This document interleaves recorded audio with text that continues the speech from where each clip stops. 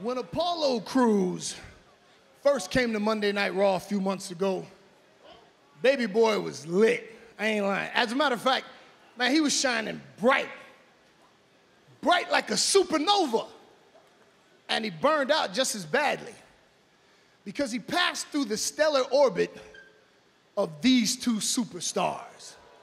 Now, Apollo Crews is a young man full of youthful exuberance, and it was that youthful exuberance that made him think he was invincible. Well, I'm here to tell you ain't nobody invincible when it comes to Bobby Lashley and his full Nelson.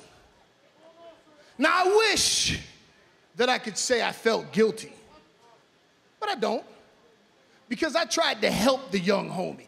Even after he saw how I was able to help Lashley become Lashley again, he still had the unmitigated gall to turn down the mentorship of the greatest United States champion of all time.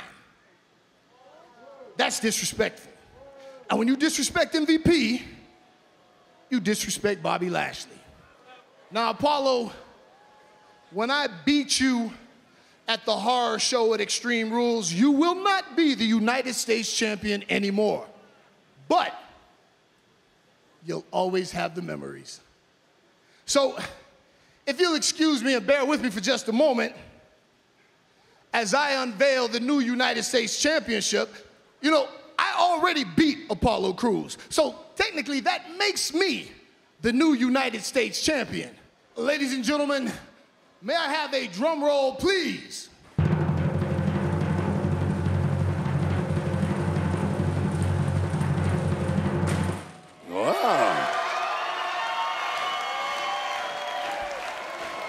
Magnificent.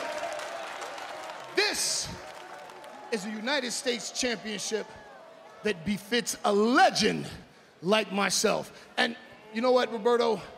I can't wait to beat Apollo Crews at Extreme Rules, the horror show, so that we can just go ahead and make this official.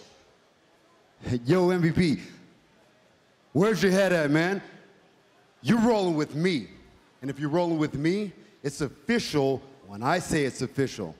So, without further ado, why don't we just do it right now and crown your United States champion, MVP. What kind of dog and pony show are we running here? MVP just Can you believe it? hanging We're, we're crowning a new champ. Quiet, Byron.